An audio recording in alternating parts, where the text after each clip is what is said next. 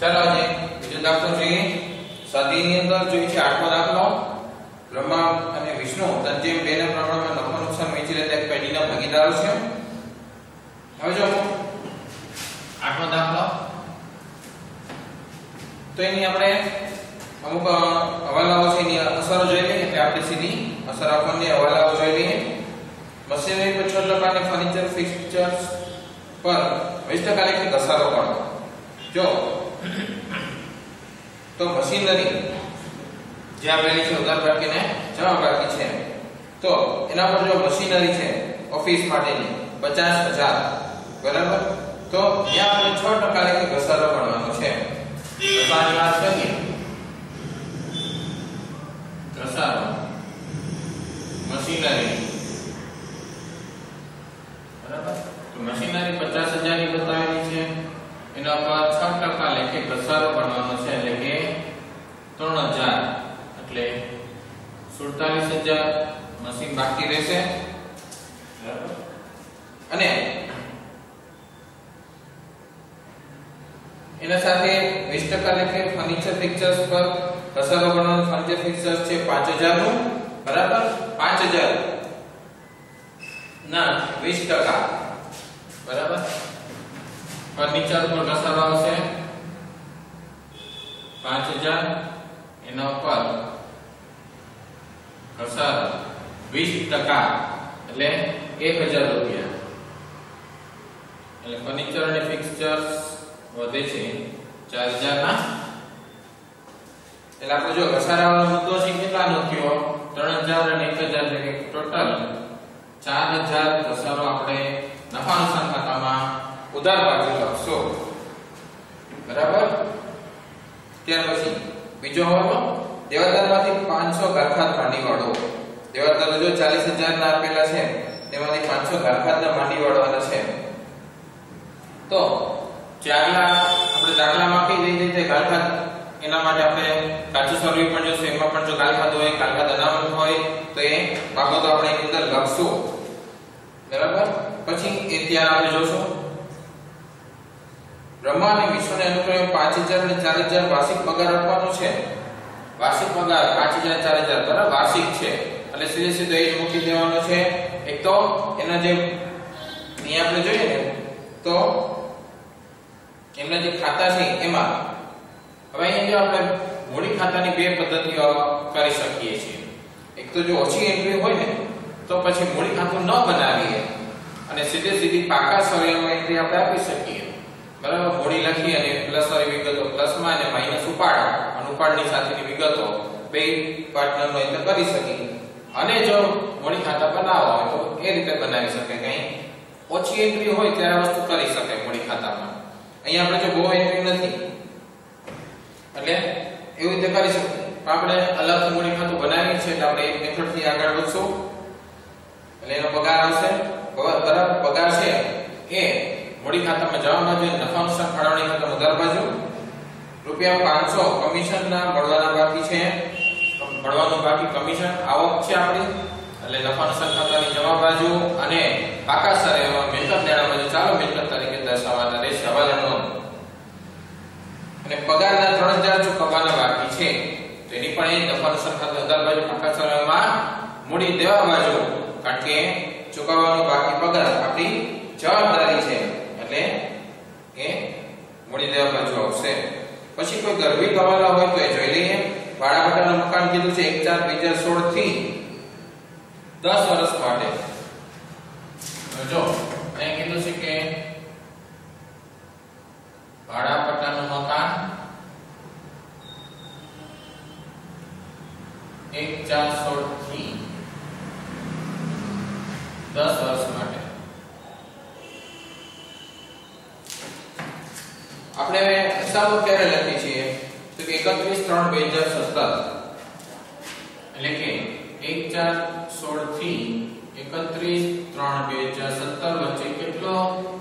આ- આમ તો સૌથી પહેલા એ નહીં, આપણે સીધી, કારણ કે વર્ષનો જ છે એટલે સીધો આપણે કઈ ગણતરી કરવાની રહેશે નહીં. દર વર્ષે માંડી વાળાની રકમ જ સીધી શોધી લઈએ. તો, એની બાકી આપણને આપી છે ભાડાપટ્ટાના મકાનની 60000 તો વાર્ષિક માંડી વાળવાની રકમ બરાબર સાઠ હજાર છેદમાં દસ. એટલે કે વાર્ષિક છ હજાર, દર વર્ષે છ હજાર ઘસારાના વાટા ભાડા મકાનના માંડી વળવાના છે. એટલે એની નોંધ ક્યાં થશે? કે નફા નુકસાન ખાતામાં ઉધાર બાજુ માંડી વળે ભાડાપટ્ટાનું મકાન, પાકા સરેરાશ મિલકત લેણા બાજુ ભાડા પટ્ટાના મકાન 60000 માંથી 6000 બાદ કરીને 54000 થી દર્શાવવાનું રહેશે. બરાબર? એટલે આ ગુપ્ત હવાલો છે. પછી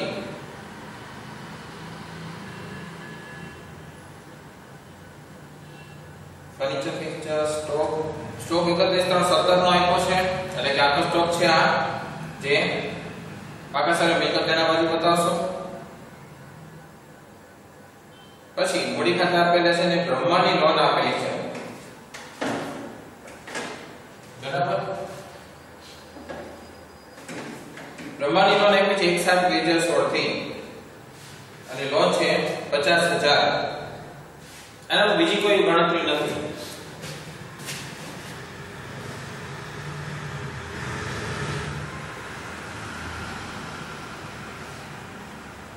હજાર અને એક સાત સોળથી ડિટેલ છે આપણી પાસે લોનની તો લોનનો આપણે ભાગીદારી કરાર નામું જોયું તો પહેલા ચેપ્ટરની અંદર. એમાં આપણે જોયું તો કે જો પેઢીને આ ભાગીદારી પેઢીને આપેલી લોન પર વ્યાજ કે કોઈ ચોપટ ન હોય, તો લોન પર વાર્ષિક 6% લેખે વ્યાજ ચૂકવવું પડે.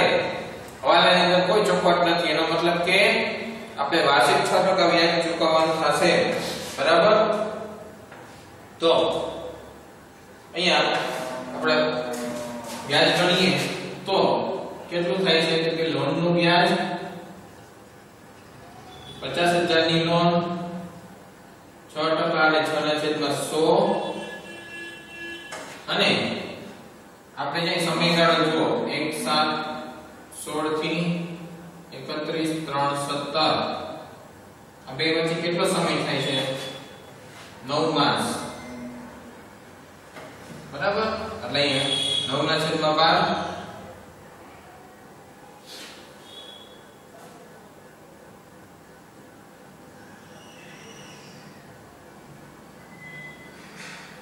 એટલે કે બાવીસો પચાસ રૂપિયા લોનનું વ્યાજ થાય છે. આ ગુપ્ત હવાલો છે આ ગુપ્ત હવાલો છે. બરાબર? બાવીસો પચાસ લોનનું વ્યાજ થશે. કારણ કે આપણે 6 ટકા લેખે વ્યાજ ગણી છે અને વ્યાજ છે એ નવ માસ માટેનું છે. એટલે છ ટકા લેખે નવ માસનું વ્યાજ બાવીસો ને પચાસ રૂપિયા થાય છે કે જે આપણે એના ખાતે જમા કરવાનું રહેશે. બરાબર? તો લોનનું વ્યાજ છે આપણા માટે શું છે? તો કે આપણા માટે ખર્ચો છે. એટલે લોનના વ્યાજનો હવાલો એક તો નફા નુકસાન ખાતે નિર્ધાર કરેલું લોનનું વ્યાજ આપણો ખર્ચો છે 2250 અને બીજું લોનનું વ્યાજ આપણી જવાબદારી પણ છે. બરાબર? એટલે કે મોડી પાકા સરમાં મોડી દેવા બાજુ બતાવવાની રહેશે ચૂકવવી આપણી જવાબદારી છે. બરાબર? આટલું? ત્યાર પછી જે વસ્તુ અદાણી વેપાર ખાતે 9750 રૂપિયા આપેલા છે, એનો અર્થ શું થયો? વેપાર ખાતે મતલબ કે વેપાર ખાતેથી આપણે નફાનો ખાતામાં લખીએ વેપાર ખાતેથી તો એનો મતલબ કે જમા બાકી છે, એટલે કાચો નફો હોય તો એ વેપાર જે એના મશીન કાચું શરૂ છે જમા બાકીમાં હોય. મતલબ કે વેપાર ખાતાનો જવાબ આપ્યો છે, એટલે કે વેપાર ખાતું બનાવવાનું થશે નહીં. આ બાબત ધ્યાન રાખવાની રકમ પરથી આપણને ખ્યાલ આવે કે શું બનાવવાનું થશે. બરાબર? એટલે વેપાર ખાતા બનાવવાનું નથી, કારણ કે જોઈએ તો વેપાર ખાતાની કોઈ વિગત પણ નથી આપણે આપેલી, અને સીધો જવાબ આપેલા છે સત્તાણું બસો પચાસ વેપાર ખાતું આપેલું છે. એટલે વેપાર ખાતું બનાવવાનું નથી સીધો નફાનું સંખાતું ખાતું, નફાનું સંખ ફાળવણી ખાતું, ભાગીદારોના મૂડી ખાતાને પાકું સ્વરે બનાવવાનું રહેશે. બરાબર? એટલે એ બાબતનું ધ્યાન રાખવાનું છે. ખાતા બનાવી લઈએ. આ વિગતો પહેલા ખાસ લખી લેજો, કારણ કે જ્યારે આપણે દાખલાની એન્ટ્રી કરશો, ત્યારે સીધી હવે હું એક જ બતાવીશ. આની ગણતરી હવે બીજી વાર ન આવે. બરાબર? એટલે પહેલા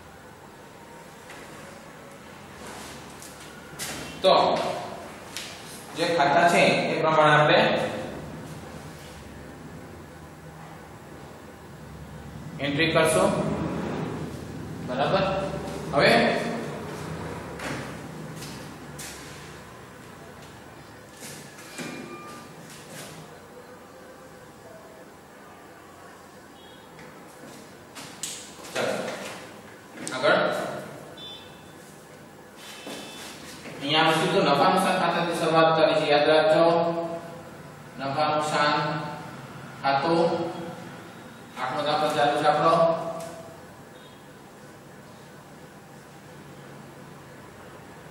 ઉધાર બાકી વિગત રકમ રૂપિયા પછી જમા બાજુ પણ એવી રીતે વિગત અને રકમ રૂપિયા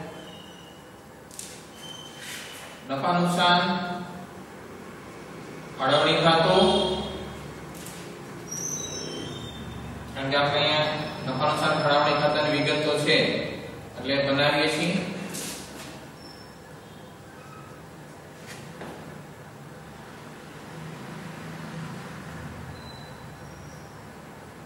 અને આપણે ભાગીદારોના મૂડી ખાતા પણ બનાવીએ છીએ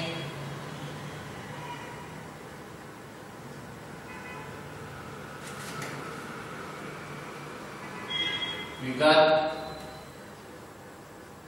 બ્રહ્મા અને વિષ્ણુ બરાબર વિગત બ્રહ્મા અને વિષ્ણુ જેમ ભાગીદારના પ્રવેશ નિવૃત્તિમાં આપણે પ્રમાણની ખાસ જરૂર પડતી હતી, એમ અહીંયા આપણે પ્રમાણની એટલી ઓછી જરૂર પડશે. કારણ કે અહીંયા વેચણી છે એ રીતે નહીં હોય. વાર્ષિક હિસાબ છે એટલે એટલે આપણે પ્રમાણ છે એનું બહુ જરૂર આમાં કંઈ આવતી નથી. મિલકત લેણા અને રકમ રૂપિયા. બરાબર? તો હવે એની એન્ટ્રી આપણે જોઈ લઈએ કઈ કઈ રીતે એન્ટ્રી થઈ શકે છે આની. બરાબર? કારણ કે બરાબર એન્ટ્રી થઈ જાય એટલે આપણે દાખલો વ્યવસ્થિત થઈ જશે. ચાલો શરૂઆત કરીએ. હવે આપણે જોઈએ ને તો ઉદાહરણ તરીકે ઉપાડ આપેલો છે આપણને. તો ઉપાડ છે કઈ બાજુ આવે કે ભાગીદારોના વળી ખાતામાં ઉધાર બાજુ આવે.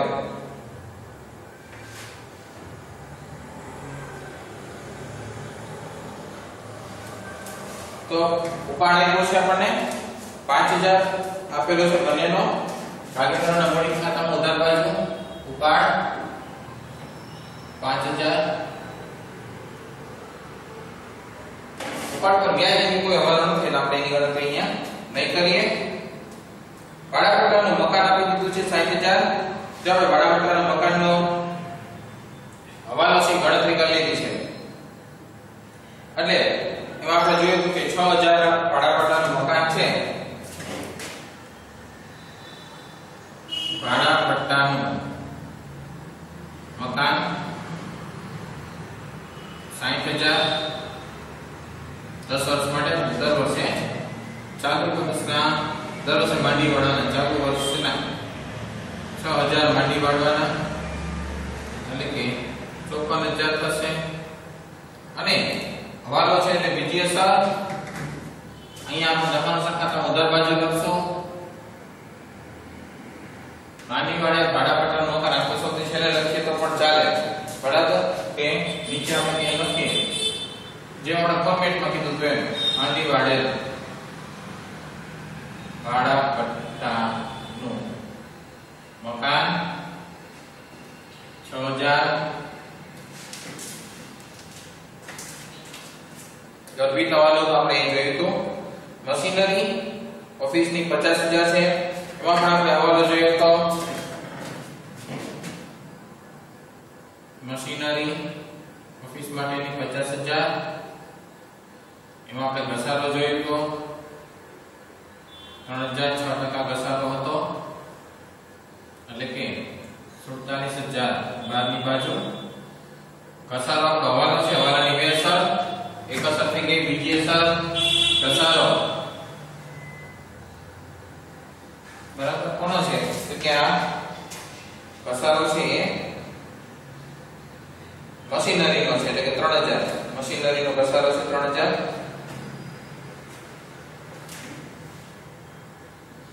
હવે અહીંયા આપણે મશીનરીના 3000 લખીને રાખી દઈએ છીએ. કારણ કે બે ઘસારા છે ફર્નિચરનો ઘસારો છે, ભેગો. તો અહીંયા સુધી લખી નાખશો.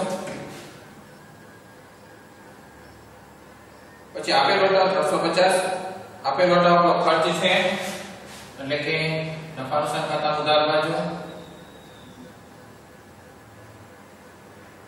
આપેલો તો 350 દેવાદાર 40000 એમાં એક હવાલો છે. બીજો હવાલો, દેવાદારનો 500 કાલખાત માંડી વાળો જોજો દેવાદાર છે આપણને અહીંયા, આની અંદર આપેલા છે 40000 બરાબર? તો 40000 આપેલા છે, તો 500 સીધો કાલખાત માંડી વાળો એવું છે. એટલે ફર્નિચર અને ફર્નિચરનો ઘસારો આપણે લખશું. એટલે એની જગ્યાએ રાખી અને દેવાદાર ચાલીસ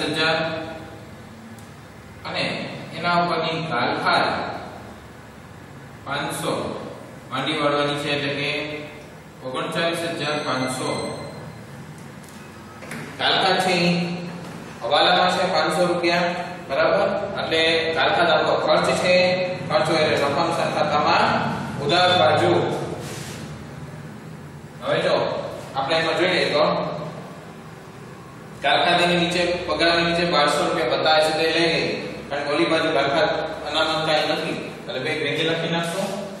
હવે અહીં લખશું કારખાન. કાચા સરવાળે વાળી એટલે કે જૂની કહેવાય એને 1200 બુકની જો કાચા સરવાળે આપેલી છે, કાચા સરવાળે અંદર આપેલી છે અને કારખાન નવી.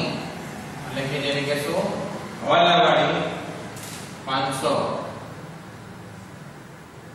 એટલે કે ટોટલ ગાલખાત સત્તરસો. બરાબર? સત્તરસો રૂપિયા ગાલખાત થઈ. ત્યાર પછી થઈ ગયો જાવક માલ ગાડા વાળો બારસો છે. જાવક માલ ગાડા વાળો વેચાણ વિતરણ ખર્ચ છે. એટલે જાવક માલ ગાડા વાળો બારસો. વેચાણ વિતરણ ખર્ચ છે. ફર્નિચર ફિક્ચર્સ 5000 જેના પર આપણે 20% ગાલખાતની વાત કરેલી હતી. બરાબર? આપણે જગ્યા રાખી ત્યાં લખી નાખશું. ફર્નિચર પાંચ હજાર, એમાં ઘસારો એક હજાર, વીસ ટકા લેખે આપણે કર્યો તો એટલે કે ચાર હજાર લીધા. ઘસારો હવાલો છે એટલે બીજી અસર જગ્યા રાખેલી છે આપણે અહીંયા. ફર્નિચર એના ઉપર એક આપણે કીધું ટોટલ ઘસારો ચાર હજાર આપણે લખશું. ચાર હજાર ઘસારો લખી નાખો પગાર સાત હજાર પાંચસો. પગાર છે આપણો ખર્ચ છે. બરાબર? તો એ આપણે નફાનું થતા વધારે બાજુ અને પાંચમો વાળો છે પગારના ત્રણ હજાર ચૂકવવાના બાકી છે. બરાબર? હજુ અહીં જોઈએ. તો પગાર સાત હજાર પાંચસો અને ચૂકવવાનો બાકી છે, એમાં પ્લસ થાય.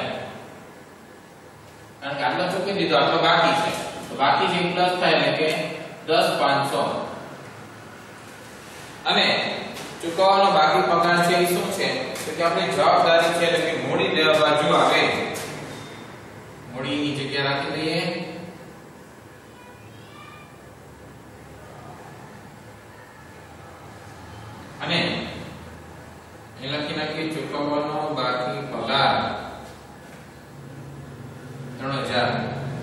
કારણ કે અહીં તો જેટલો ચૂકવાનો બાકી એટલો જ લખશું. પૂરેપૂરો એક દસ હજાર પાંચસો નહીં.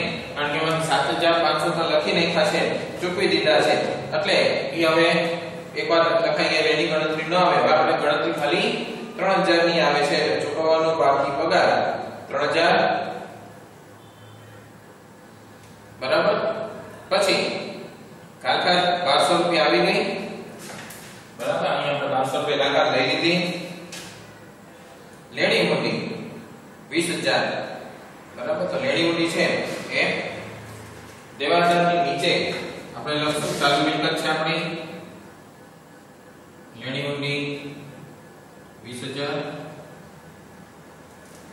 પછી વેપાર ખર્ચ 5900 આપણે કીધું વેપાર ખર્ચ આપણો નફા નુકસાન ખાતાનો ખર્ચ છે. એટલે કે વેપાર ખર્ચ નફા નુકસાન ખાતામાં આવે 5900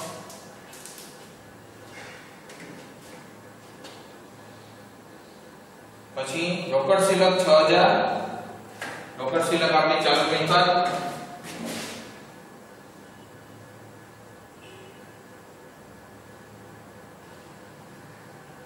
રોકડ સિલક 6000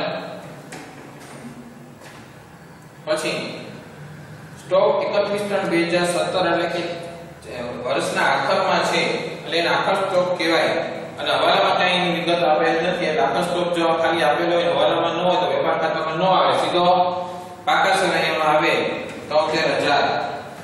જેને આપણે કહેશું. છેલ્લે છે કે વર્ષના અંતમાં છે આખર સ્ટોક તોતેર હવાલામાં હોય તો વેપાર ખાતું હોય, એની અંદર વેપાર ખાતું નથી હવાલે નથી. એટલે આખર સ્ટોકની કાંઈ વિગતો બીજી ન આવે. એટલે ઉદાહરણ બાકી પૂરી જમા બાકીમાં મૂડી ખાતા બ્રહ્મામાં પંચાવન હજાર અને પિસ્તાલીસ હજાર વિષ્ણુમાં.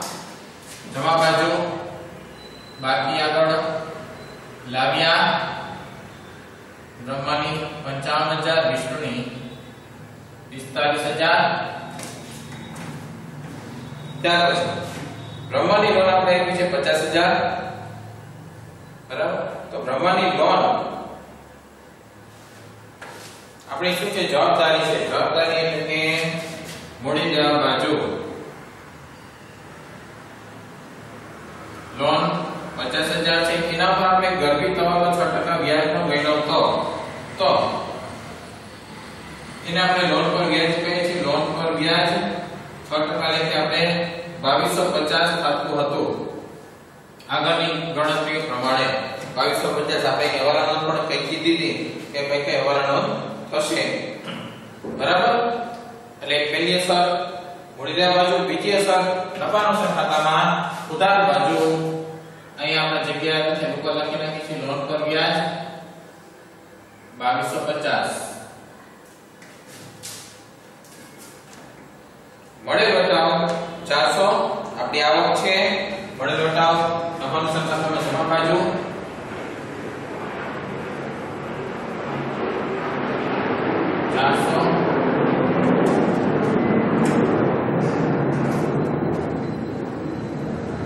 પચીસ હજાર, કોઈ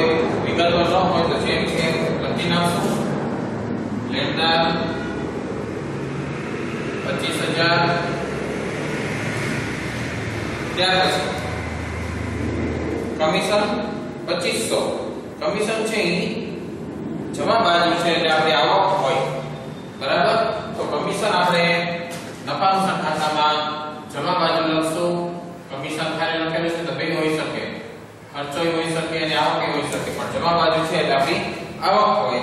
જેના ઉપર એક હવાલો છે કે રૂપિયા પાંચસો કમિશનના મળવાના બાકી છે. એટલે કે કોઈ આવક કમિશનની છે, મળવાના બાકી. પાંચસો. એટલે કે ત્રણ હજાર થશે મળવાનું બરાબર એટલે ત્રણ હજાર કમિશન થશે. મળવાનું કમિશન આપણી ચાલુ મિલકત છે. બરાબર? અને અહીંયા મિલકત લેના બાજુ મળવાનું બાકી કમિશન પાંચસો. બરાબર? મળવાનું બાકી છે. આપણી મિલકત કહેવાય. દેવી પાંચ હજાર. ચાલુ, જવાબદારીમાં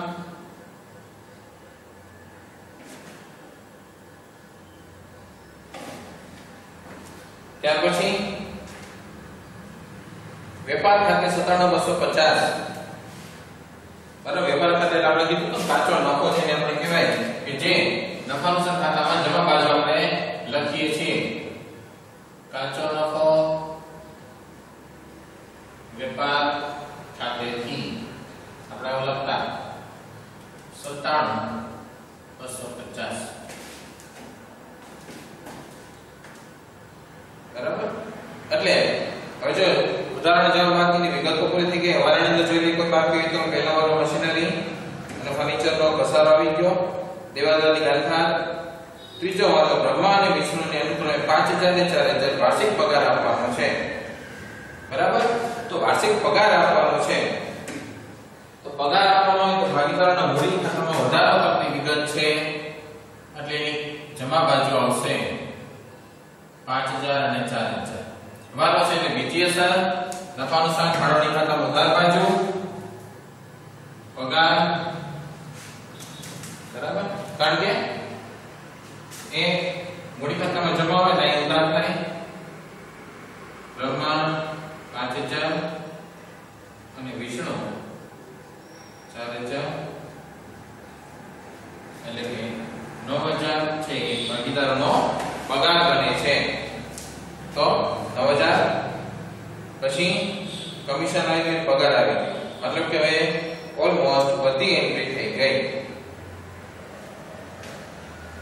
બરાબર? તો આપણે એનો સરવાળો પણ કરી શકીએ છીએ. જો એન્ટ્રી થઈ ગઈ હોય તો સરવાળો કરી શકીએ છીએ.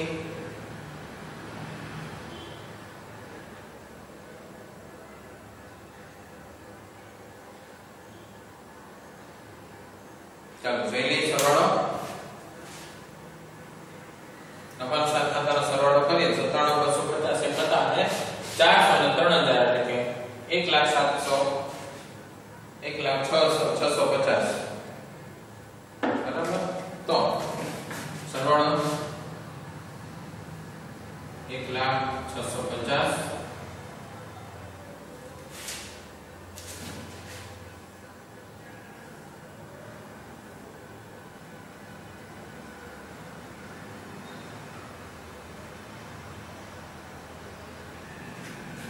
બાકી એમાંથી ઉધાર ભાગ્ય બાદ કરીએ એટલે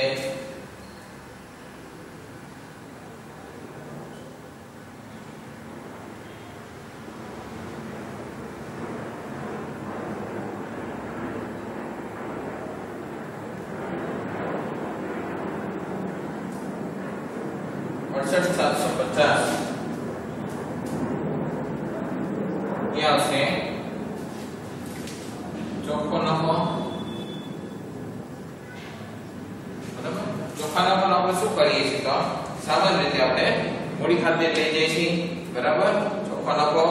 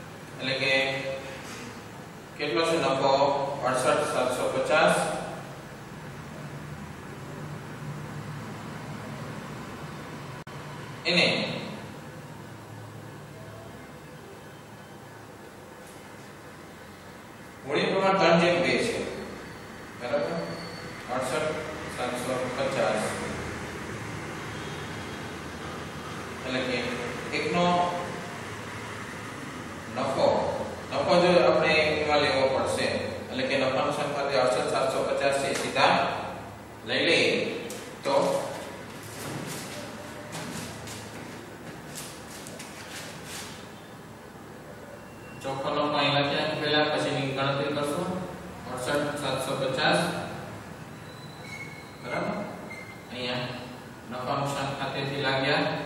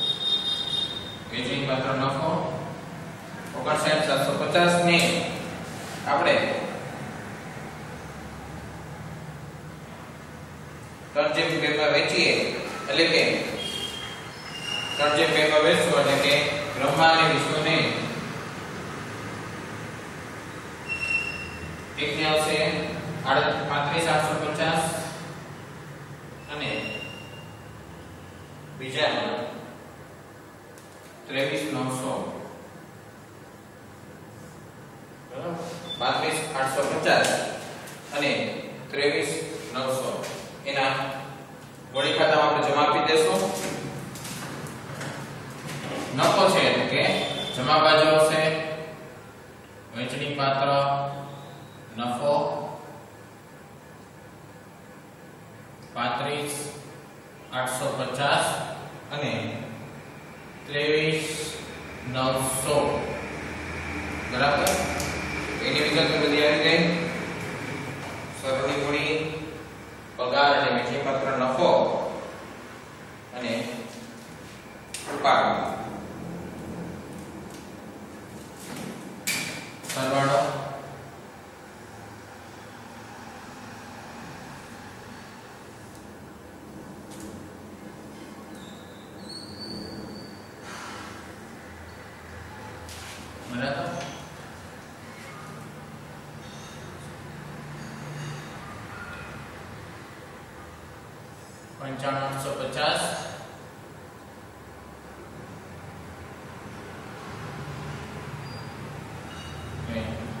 qualquer. Noção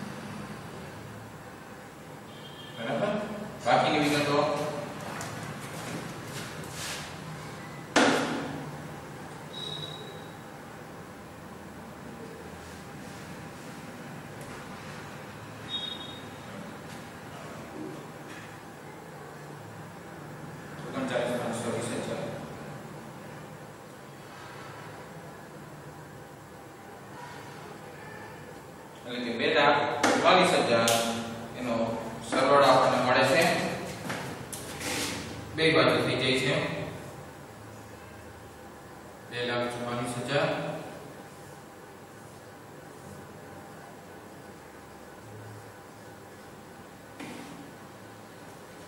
એટલે આ રીતે દાખલો છે આખો આપણે કમ્પ્લીટ કરવાનો રહીએ એટલે એમાં બરાબર જોઈ લેજો કોઈ વિગત ખૂટે નહીં એની ખાસ ધ્યાન રાખવાની અને હવાલાઓ છે ફરી એક વખત ચેક કરવાના કે જો હવાલા છે એમાં કોઈ વિગતો બાકી તો નથી રહી જતી ને કારણ કે જો વિગતો બાકી રહેતી હોય. તો આ વસ્તુ છે. હવે જો, કોઈ વિગતો બાકી રહી ને તો શું થાય? તો કે વિગતો બાકી રહી એટલે આમાં ક્યાંક ભૂલ આવે ક્યાંક સરવાળો છે એ ન મળે. એટલે આપણે એ ગણતરી કરતા હોય ત્યારે ખાસ ધ્યાન રાખવાનું છે કે કોઈ વિગતો બાકી ન રહે. એક વખત ફરીથી ચેક કરી લેવાનું. કારણ દાખલો મોટો છે 11 માર્કનો છે, તેમાં ભૂલ થઈ ન જાય. હવાલા ખાસ બે વખત ચેક કરવાના રહેશે. કારણ કે એક વખત તમે જો હવાલા કર્યો છે એની બે અસર છે કે નહીં ખાસ ધ્યાન રાખવાનું. એક તો દાખલો જ્યારે જ્યારે કરો છો, દાખલો લખો છો બરાબર? દાખલામાં જ્યારે હવાલાની અસર આપો છો ને, હવાલા ન કરી આપણે જે જે અસર આપીએ છીએ, એની બે અસર થઈ જ જવી જોઈએ. ત્યાર પછી આગળ વધવાનું છે.